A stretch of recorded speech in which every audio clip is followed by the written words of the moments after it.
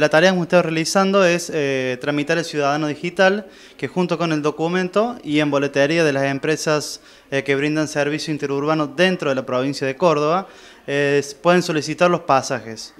las personas que realizan este trámite tienen 32 pasajes mensuales para utilizarlos siempre dentro de la provincia de Córdoba. Estos pasajes, de acuerdo a la cantidad de kilómetros que van a realizar, es el descuento. Eh, los requisitos para realizar el ciudadano digital y requerir los pasaportes son las mujeres mayores de 60 años y los hombres mayores de 65. Eh, eh, contanos un poquito cómo ha sido la asistencia, realmente han tenido muchísima gente, ¿no? Desde que se habilitó la posibilidad de sacar el, boleto, el boleto social, ¿no? Sí, la verdad que sí, hoy vamos a hacer 200 personas. Eh, siempre la expectativa es 120 o 150, pero en la mayoría de los centros que hemos ido, eh, siempre un tope de 200 se está haciendo. Guillermo, esto es entrega inmediata porque la gente está trabajando directamente con las computadoras, es decir, es la inscripción y la entrega del boleto. Totalmente, es, eh, estamos trabajando con el registro de las personas, lo único que necesitamos es el documento y es inmediato, serán unos 5 minutos por persona. El beneficio es para todos los jubilados, ¿no?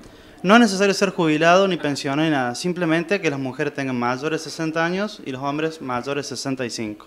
¿Y esto tiene su renovación o directamente una vez que lo sacas ya te, sirve para todo el año, por ejemplo? Se renueva automáticamente, no tienen que hacer ningún otro trámite. Eh, no tienen vencimiento alguno, o sea que directamente cuando comienza el mes se le vuelven a cargar los 32 pasajes. Y repetimos, esto es dentro de la provincia de Córdoba solamente. Siempre es dentro de la provincia de Córdoba.